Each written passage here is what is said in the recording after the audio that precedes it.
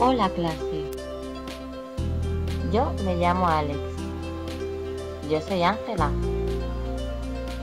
Y yo, Bea. Y os vamos a presentar la cebada. La cebada pertenece a la familia de las gramíneas, al género Ordeum y a la familia Bulgari. Es una planta herbácea con tallo fistuloso de 60 centímetros a un metro de alto. Las hojas son anchas, agudas y laminares que miden hasta 20 centímetros de largo. Las flores son pequeñas se agrupan en espiguillas, que se agrupan a su vez en tres espiguillas dispuestas sobre cada nudo, lo que la diferencia claramente del trigo.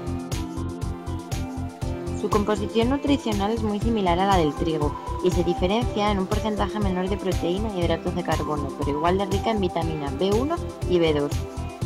Es rica en zinc y carente en calcio. También aporta una óptima cantidad de fibra.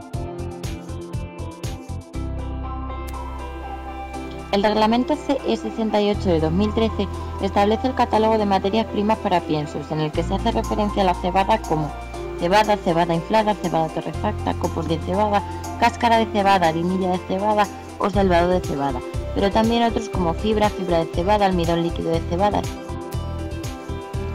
la superficie cultivada de cereales de invierno en España se aproxima a los 6 millones de hectáreas y se ha mantenido más o menos constante durante los últimos 20 años.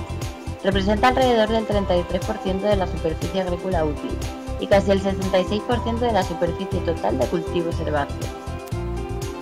En el año 2008 en España se cultivaron 3.462 hectáreas de cebada.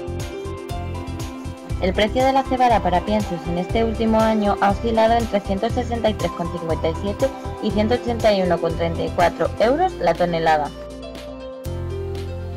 Y hasta aquí nuestra presentación. Hasta la próxima.